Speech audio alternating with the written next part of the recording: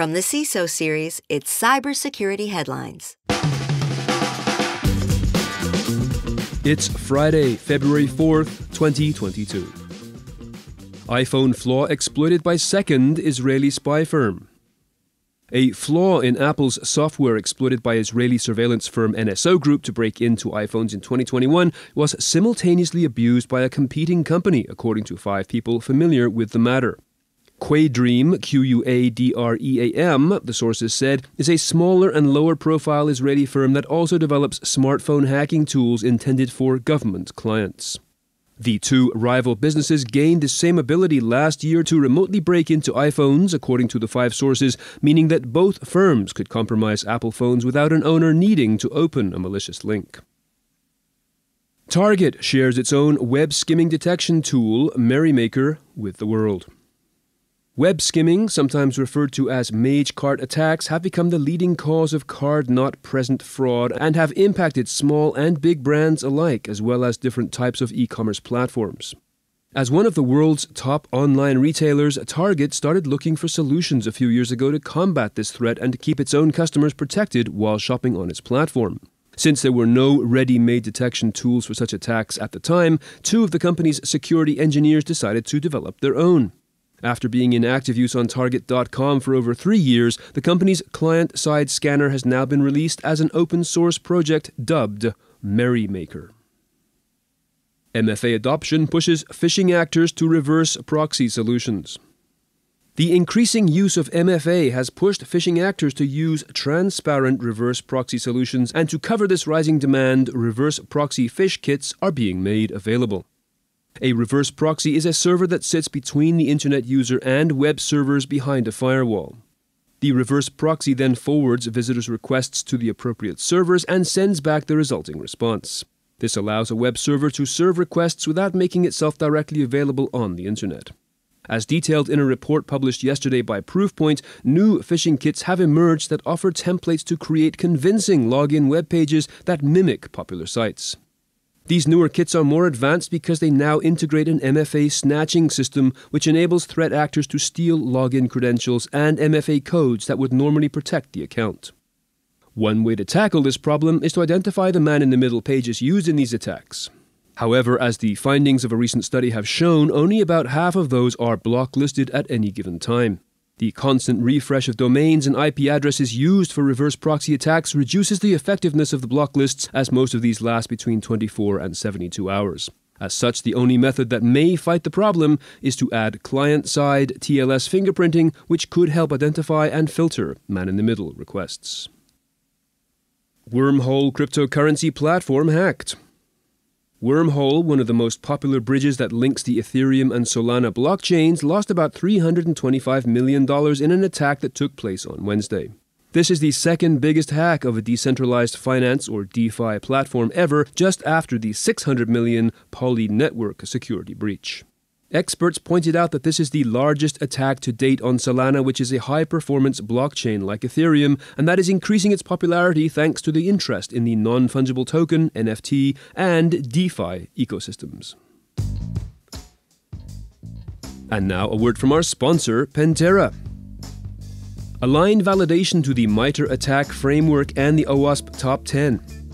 By aligning to industry standards, security teams ensure that their testing covers the latest adversary techniques. Most attacks succeed by leveraging the most common TTPs, so challenging the attack surface against these frameworks provides comprehensive coverage of adversary techniques in the wild. In addition, it allows security executives to clearly report to management on security control efficacy and enterprise readiness against potential threats. Find out more at pentera.io. That's P E N T E R A Io. State hackers' new malware helped them stay undetected for 250 days. A state backed Chinese APT actor tracked as Antlion, A N T L I O N, has been using a new custom backdoor called XPack against financial organizations and manufacturing companies. The malware has been used in a campaign against targets in Taiwan that researchers believe spanned more than 18 months between 2020 and 2021, allowing the adversaries to run stealthy cyber espionage operations.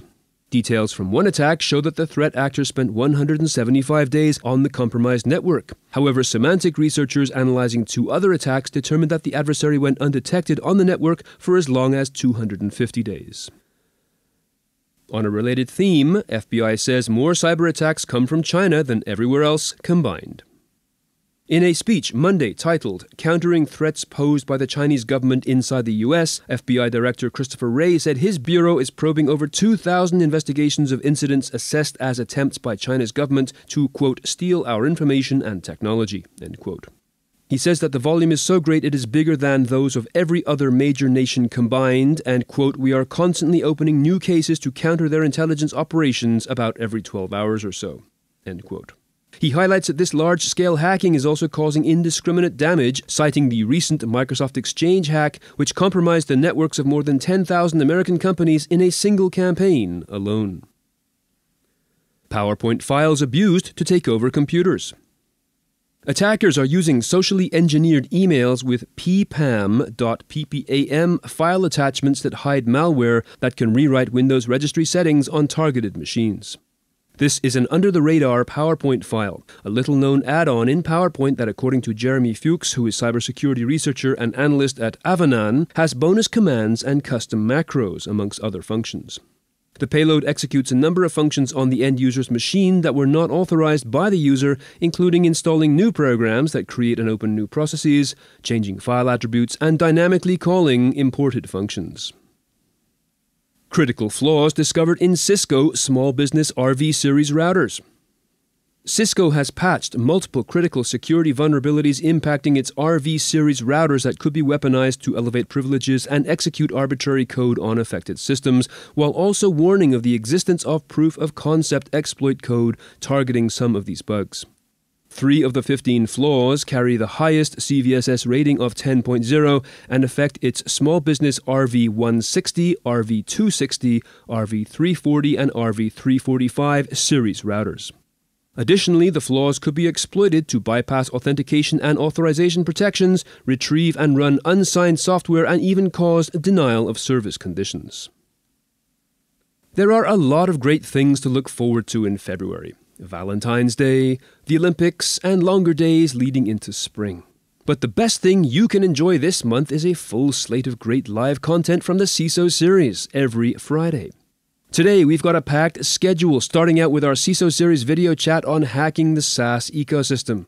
This starts at 10 a.m. Pacific, 1 p.m. Eastern, and we'll be breaking down how changes in how organizations use SaaS solutions also means we need to change our approach to their security.